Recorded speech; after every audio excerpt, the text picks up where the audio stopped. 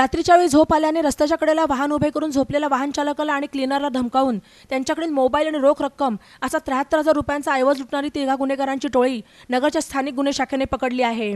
लुटीची ही घटना एकोणीस नोव्हेंबर रोजी नगर ते छत्रपती संभाजीनगर महामार्गावर देवगड फाटा तालुका नेवासा येथे घडली होती. अजित सिद्धराम गुळवे वय सव्वीस राहणार शिंगोणी तालुका माळशिरस जिल्हा सोलापूर यांनी या संदर्भात फिर्याद दिली होती. या गुन्ह्याचा समांतर तपास स्थानिक गुन्हे शाखेचे पोलीस निरीक्षक दिनेश आहेर यांच्या मार्गदर्शनाखाली उपनिरीक्षक Tushar Dhak Dhakrao police head constable Dattatray Gavhane police Naik Ravindra Kardile Sandip Darandale Dnyaneshwar Shinde Furkan Shaikh Santosh Khaire Kishor Shirsat Prashant Rathod चालक police head constable Sambhaji Kotkar यांचे पथक करत होते.